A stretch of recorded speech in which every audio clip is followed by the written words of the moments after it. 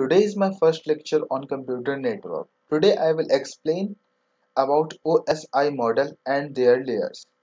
It is seven layer conceptual model which is developed by ISO International Standard Organization in 1984. OSI model is divided into smaller part which is called layers. Each layer is assigned some specific task that define some key functions. How we understand the different layer of OSI model. The first one is physical layer. This layer transmits and receives bit through the network at the electrical levels through a wired networks. Physical layer acts as an interface between network layer and physical devices like hub and switch. In physical layer, data is called bits. After physical layer, the next layer is data link layer.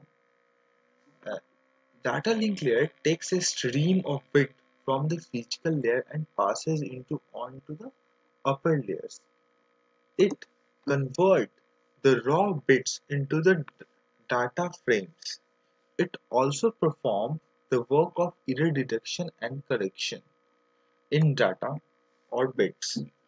After the error correction process, it transmits each frame separately to the next layer and pass.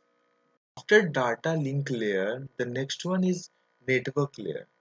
This layer is responsible for assigning logical address to the device. Logical address means IP address. Uh, this layer also translates logical network address to their physical address like a device name to the MAC address. It also convert the frame frame that is received from the data link layer into packets. A device like router uh, resides over the network layers. After the network layer, the next one is transport layer. This layer convert the packet that received from the network layer into segment.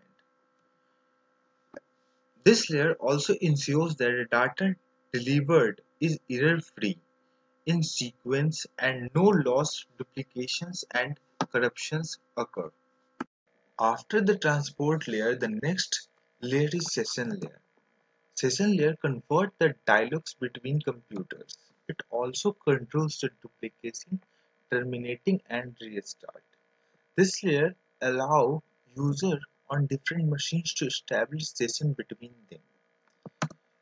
The datagrams are called upper layer data. In the session layer, streams of data are marked and are resynchronized properly so that the end of the message are not cut and the data loss is avoided. After the session layer, the next layer is presentation. The most important functions of this layer is of formatting data. It is also responsible for protocol conversion and data encryption and descriptions.